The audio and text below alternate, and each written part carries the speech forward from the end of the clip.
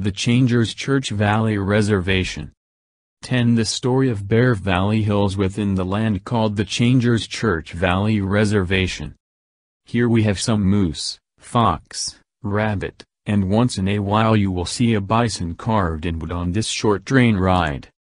The population of Bear Valley Hills has 100 residents and about half are retired and only work part-time. Has 140 homes, stores, factories, hotel has 200 rooms, dinner has up to 100 sets and the Bear Valley Hills Bank, horse stable with fix-it shop. The Changer Church main office, church, council, court, jail, church school, county school and city hall.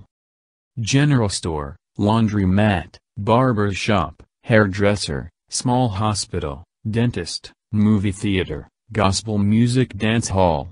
When the town gets bigger there are more businesses added.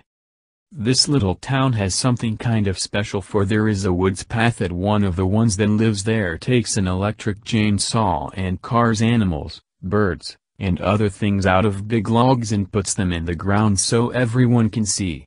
He has about 30 right now and working on more. We have set up a small train to go around in a big circle to see all of his sculptures.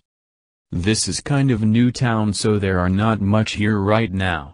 Most just come to see all the things that he has made so far.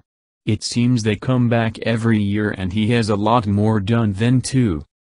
Everything seems to be okay here and they are still having classes so it is time to go to the next town. Time to go and see all you in the next town. Written by John the Changer.